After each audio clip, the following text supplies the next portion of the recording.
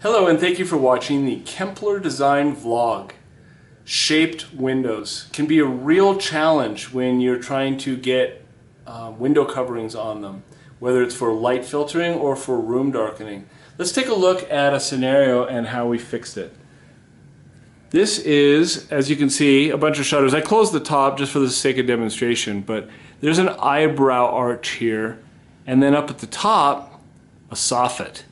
That soffit is a little hole that allows us to put a shade up inside it. Now that has to be either built or we could have, in this case, mounted something up over the top and had it go across, but it would have required a valance. But here's how it works. This is a Hunter Douglas Power View uh, done with a roller shade in a room darkening version. So when we hit the down button, you'll notice that the shade lowering from the top and covering the window.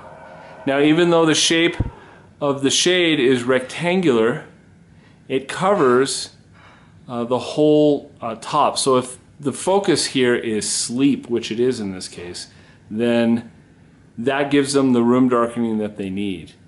Then, by just pressing the up button, that shade, which is functional in this case, it's not really about style, goes away and then the style of the window itself, which has this beautiful trim all around it, Let's see if we can get the color right, there we go.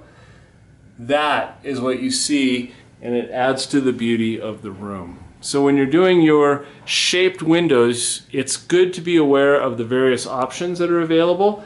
And in this case, it was a really good solution to use the existing soffit to place a motorized roller shade. Thank you for watching the Kempler Design vlog.